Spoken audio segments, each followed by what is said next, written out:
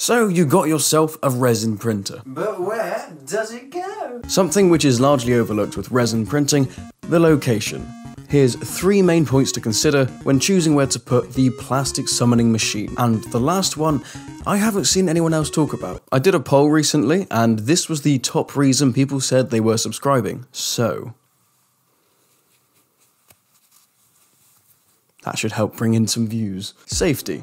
The first mistake I've seen people make is just plonking their new printer just casually around the house. I am guilty of this myself when I first started printing, but I very quickly changed my tune. Now, do we like our family? What? No? Oh, okay. Well, do we like ourselves? No?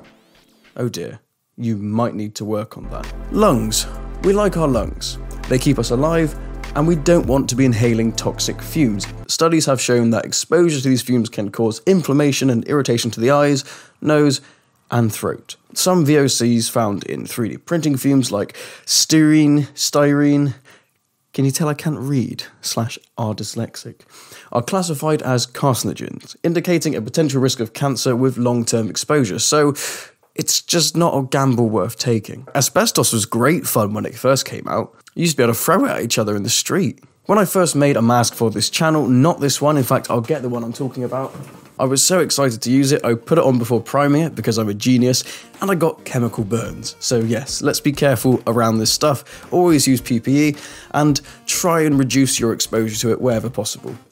Let's, let's, let's put you in the background to, to creepily watch over us, shall we? Why has it got a thousand eyes? I don't know.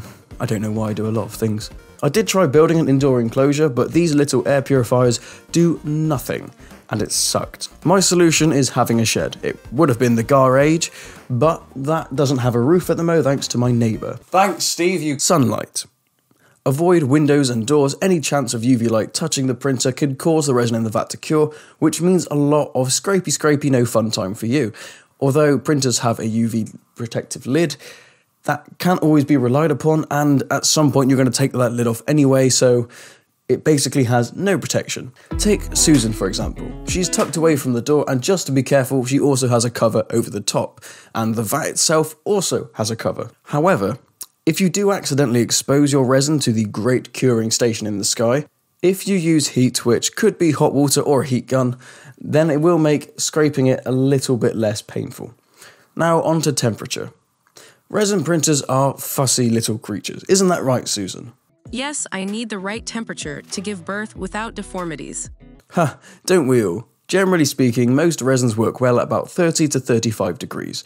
And if you are like me and you have your printer out in the cold, this can be a little trickier. But we have a couple of tricks up our sleeve, don't we, Susan? Yes, Daddy. Don't do that.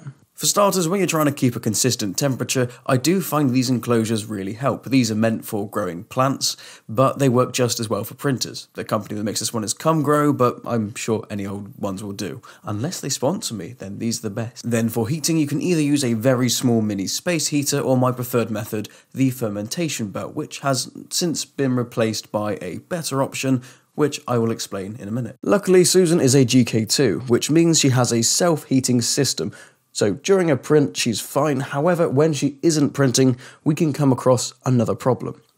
Resin printers have an LCD screen, which can freeze and will break if frozen, which is expensive, but this can be prevented using a beer fermentation mat. My old trick was to use a beer fermentation belt, but I've upgraded to this because it comes with a temperature sensor and it can be programmed to come on only when it's needed to prevent the printer from going below zero degrees, which is all we need. We don't need it to be warm, we just need it to not be freezing.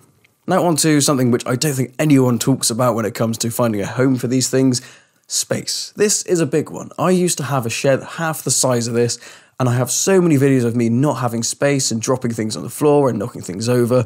And I also used to hurt my back a lot more as well because it was just awkward. You want a good desk to be able to do maintenance and process prints. It's worth the effort and cost whatever it may be. Being able to comfortably do printer related tasks is going to reduce a lot of stress. I've even got a chair in here for now, for when I'm removing the supports. It's just so much nicer. To recap, the main points you're going to want to bear in mind when choosing a place for your brand new 3D resin printer is 1. Safety, keep it away from people, they don't need to breathe in the cancer fumes. Two, sunlight. Keep it away from sunlight. Treat it like a little vampire, and you'll have a much easier time.